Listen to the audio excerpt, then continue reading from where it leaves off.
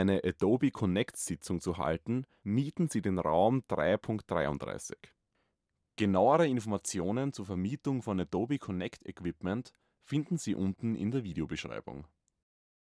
Bevor Sie den Rechner im Raum 3.33 starten, stellen Sie sicher, dass er richtig verkabelt ist.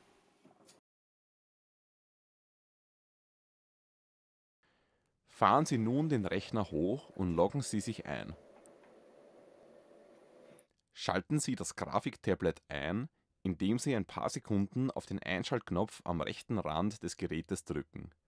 Öffnen Sie nun einen Browser und loggen Sie sich in Adobe Connect ein.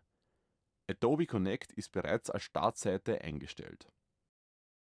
Wenn Sie nun eine Session öffnen, können Sie das Grafiktablet als einen für alle sichtbaren Monitor freigeben.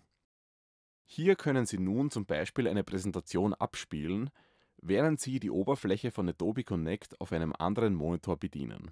Mit dem Stift, welcher sich ebenfalls auf dem Tisch befindet, können Sie nun Notizen auf Ihre Präsentation machen, die alle Studenten sehen können.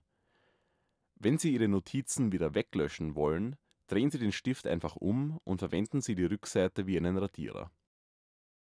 Sollte der Raum 3.33 nicht frei sein, oder wenn Sie Ihre Adobe Connect Session von zu Hause oder unterwegs abhalten wollen, können Sie den Adobe Connect Rucksack der Fachhochschule St. Pölten ausleihen. In diesem befindet sich ein Laptop, ein Grafiktablet, ein Standfuß für das Grafiktablet, alle nötigen Kabel, ein Headset und der Stift des Grafiktablets. Um nun eine Adobe Connect Session zu starten, verbinden Sie den Rechner mit dem Stromnetz. Stellen Sie das Grafiktablet auf den Standfuß.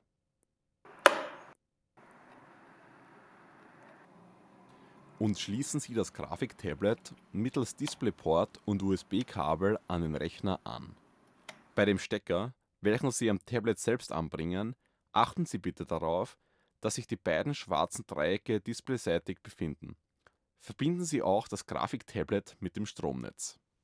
Verbinden Sie zuletzt auch das Headset mit dem Rechner. Sie können nun den Rechner starten. Wenn der Rechner hochgefahren ist, schalten Sie das Tablet ein. Auch auf dem Laptop des Rucksackes ist Adobe Connect in den Webbrowsern als Startseite eingestellt.